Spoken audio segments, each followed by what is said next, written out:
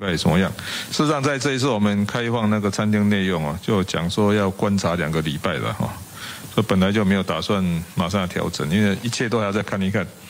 那么八月一号到八月七号哈，我们台北市确诊案例二十四例啊，那不过真正的本土只有二十例啊，四例是境外移入的。那这二十例里面哦，负面感染源的是八例啊。那么一开始在讲说，我们是说每天哦，这个确诊案例十例以下，平均起来哦，一个礼拜平均起来十例以下，然后。然后不明的要两例以下，所以这个都远远在我们设定的标准之下呢。所以目前在台北市的疫情是在控制之中了哈。那也因为这个案例少，你知道哈，我们通常可以盯得更仔细，你知道哈。所以我想在这情形下，我们就慢慢的换开管制了哈。大概目前的想法是这样。那。当当然，疫苗还是最终解决方案的。所以现在我们疫苗已经达到四十六点九 percent 的，这是不过这是打一剂的啊，打一剂大大大部分对这种原始的这种新冠肺炎病毒哦，还有相当的保护力。那但如果是遇到那种六的哦，大概就大概就没有没有不敢说保护力很好了哈。不过对于这种原始的还是可以。所以只要边境管制做好，不要让六的病毒侵入台湾的话，你知道哈，我想打在至少先。打一剂哦，卡不到已经接近五十 percent 的了，所以在这情形下哈，戴口罩、勤洗手、保持距离哦，我想疫情还是一个程度可以相当的控制。那么关于疫苗打的问题哦，当然等一下蔡务市长会有更详细的说明。那我们这次所谓的中央，因为目前是整个这种疫苗接种全完全是中央接管的哈，所以我们事实上我们是提供那个四大名额。那我们台北市开出的量哦，第五梯次你知道哈，我们开开了七七三六五年哦，七万三千六百五十个的这种接种量你知道哈，那到昨天下午点你知道哈，事实上已经登记的是五万六千九百五十八，但我是不晓得为什么会还剩下这么多那个名额你知道，因为我们开事实上我们开的是七万三嘛哦，昨天看到昨天下午是五万六，所以。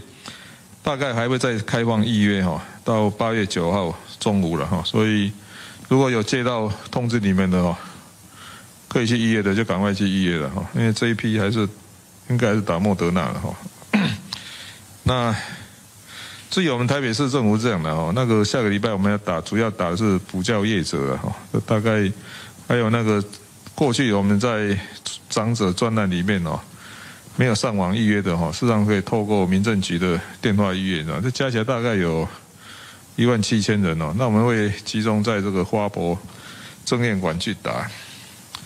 那么明天是这个父亲节，你知道吗？这个这个家族聚餐那一定会有的哈，不过还是注意了哈，这个。同桌吃饭，你知道哈，保持距离哦，也就是没话做，啊，不然就要加隔板，还一点呢，不要混着吃的哈，这个还是原则上还是个人套餐的哈。我这这这个 这个拿下口罩群聚吃饭，还是对传染对这个感染来讲，还是最危险的啊。当然，其实这样的啊，打电话。父母亲就很高兴了，这个说视讯就可以了，你知道吗？不一定说一定要聚餐的哈。这个信义道最重要哦，这是这样。那至于那个四打疫苗的细节哦，我们就请蔡副市长哦来跟大家再做一些说明。好，我们台北市在这个疫苗的接种哈，这个市长每天都非常的关心哈。那我们都按照这个既定的脐程。一方面配合中央的接种，那二方面我们也啊在整个啊相关的需要的时候，我们也尽量努力的哈来帮这个特别需要接种的民众来为他们服务。所以刚刚市长有提到说，整个台北市的这个第一季我们的疫苗的接种覆盖率啊，这个是八月五号啊的一个统计数据，已经来到四十六点九哈百分之四十六点九。那其实第二季的部分。也慢慢的跟上来了哈。目前台北市打完这个第二季也有八万七千多，那也占了百分之三点四啊。那继续的在成长，所以能够来提高哈这个覆盖率是我们还是最重要的。那各位知道这个所谓的百分之四十六点九的第一季的覆盖率，其实以我们的人口来算的话，已经超过一百二十万的人口已经接种了这个第一季的疫苗哈。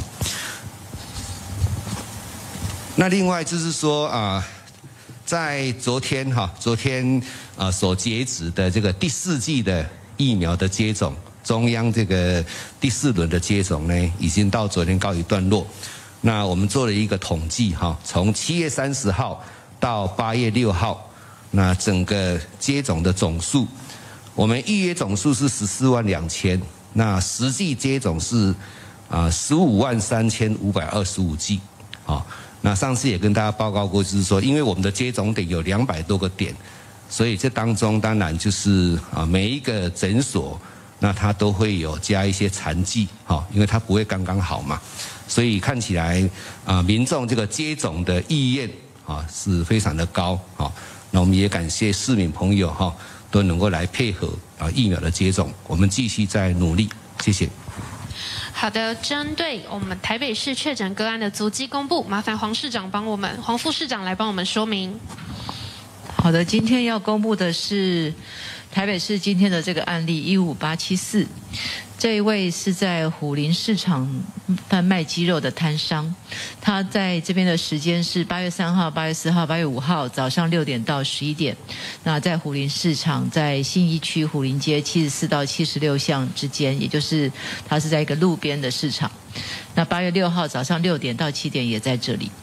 八月四号，他在十一点半到十一点四十左右，他到了台北府城隍庙去参拜，在松山区的虎林街。那这个场域已经清销完毕，那今天停止开放一天。那目前这个案例比较特别的是，他其实是在七月份，七月十号已经打过疫苗。